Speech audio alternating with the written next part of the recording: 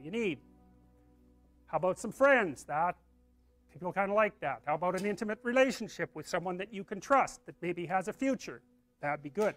How about a career that puts you in a dominance hierarchy somewhere so at least you've got some possibility of rising, some possibility of stabilizing yourself, and a schedule and a routine because no one can live without a routine.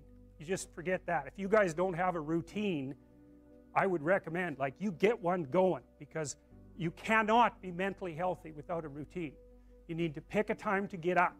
Whatever time you want, but pick one and stick to it because otherwise you dysregulate your circadian rhythms and they regulate your mood.